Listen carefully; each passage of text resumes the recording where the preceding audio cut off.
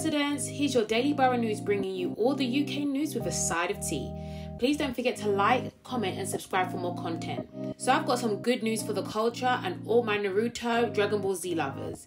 Idris Elba, alongside his wife Sabrina, are teaming up with Crunchyroll to create an animated fantasy series called Dantai. It is described as a dark Afro-futuristic sci-fi series exploring the gap between the haves and the have-nots. This is an exciting announcement as there's very few black anime characters, and now we get a whole series. Crunchyroll, a subscription service, is currently owned by Warner Media, but reports suggest that it's in the process of being sold to Sony for a whopping $1.2 billion.